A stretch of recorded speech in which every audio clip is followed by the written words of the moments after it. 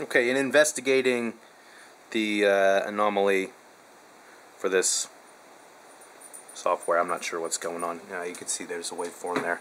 Um, I have the ECU hooked up to my power supply. This is hooked up to the ECU. Channel 1 is hooked into the data port, and channel 2 is on the TX line of the Bluetooth.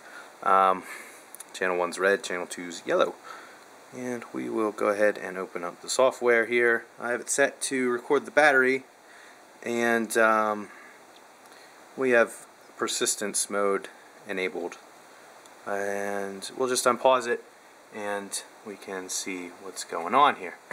Um, oh, actually what we have to do probably is connect to a device would probably help. Alright, now we'll do that again and we unpause it and you can see that the data is being transmitted. You see the red request and then the yellow while the yellow transmitted request and then the reply is at the end there.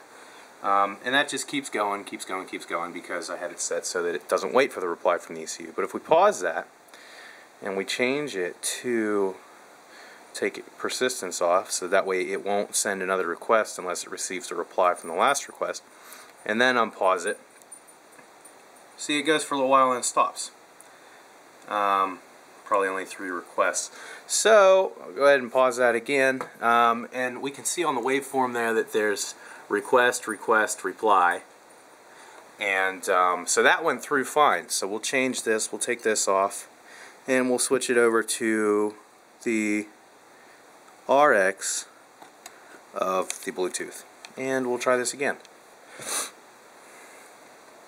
I'll unpause it. And see, it stopped already. Well, we'll just keep unpausing and pausing there. But um, see, it goes through, and there's two for the reply, and it's still going. It's I guess it's going on a good run. Oh, there it stopped, and you can see that there's only one one in there. If we change the change that, zoom it in, we can see what it looks like. And um, I'm just going to go ahead and enable persistence on this again so that we can see what's what it's supposed to look like, what that waveform is supposed to look like. And see you can just going through, going through, and um, read reply, read reply.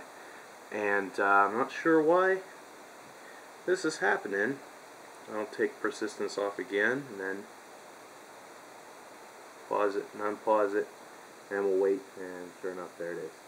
So something's going on where it just stops. You can see that, you know, it starts sending the bit and then it just stops. And I'm not sure why. So, we'll have to figure it out, I guess.